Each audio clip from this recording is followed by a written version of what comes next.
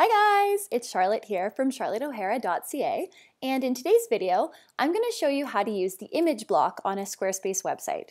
So luckily for you, the image block is super easy to use. There's tons of different options on ways you can format your images, change the editing and the settings, as well as the way it displays on your web page or within a blog post. So I'm going to show you how to do that. Let's minimize my lovely face here. I can just go down in the corner and chill. Uh, make sure it floats on top. There we go.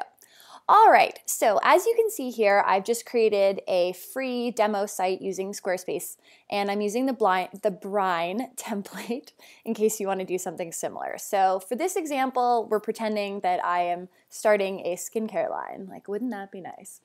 All right, so to get started, I'm going to show you how to add images on a new web page. So to keep it simple, I'm going to create a brand new page and show you how to do that. So adding a new page here, just a basic one. Let's call it demo page, sure. And start editing. All right, so now to get started, I want to add images to this page. It's just a basic one. I'm not doing index pages for this particular video, but let's get started here.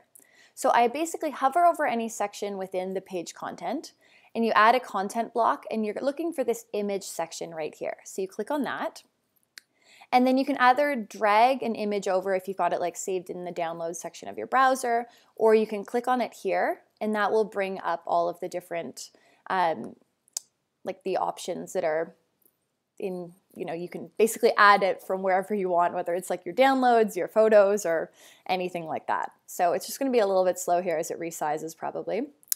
All right, so let me just move that little guy out of the way.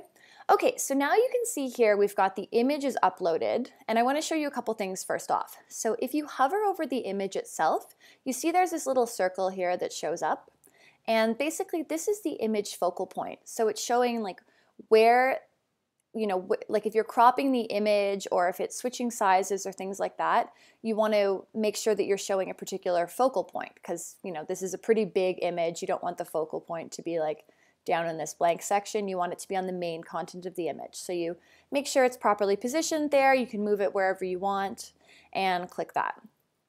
Uh, you can also rename the file name. So, you know, right now it's just pulling the basic file name, but you can switch that to whatever you want. This is really helpful as well for SEO. So try not to skip that step.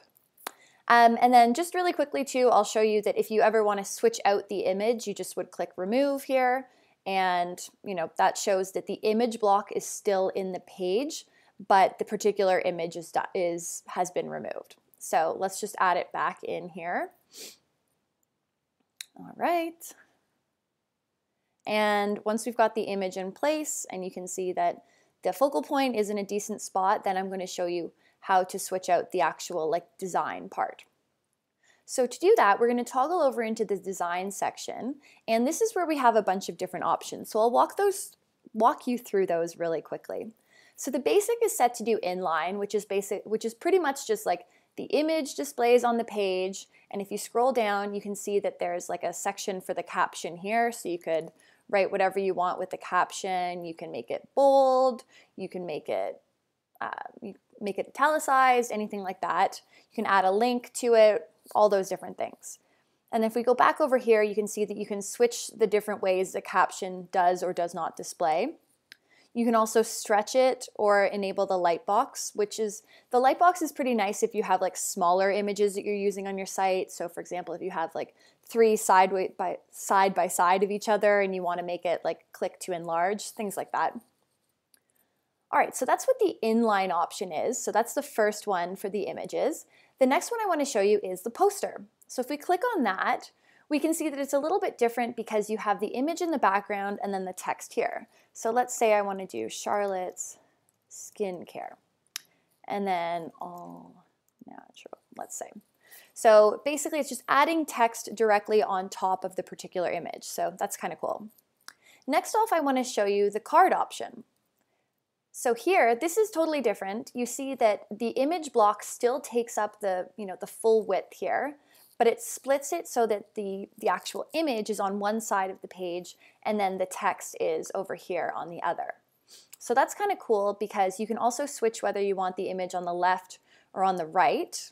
So this will be really neat if let's say you're, you're stacking quite a few images or image blocks on top of each other and you know you have the first one the image is on the left and then if you scroll down and you have another thing but the image is on the right it's you know a cool different visual effect that you can do here and then again you can always link to the image um, you know this way um, and you know add a url here or if there's like a button that you want to do this is neat so you can like add a button text as well. So that would be the option for the card, which is pretty cool to do there.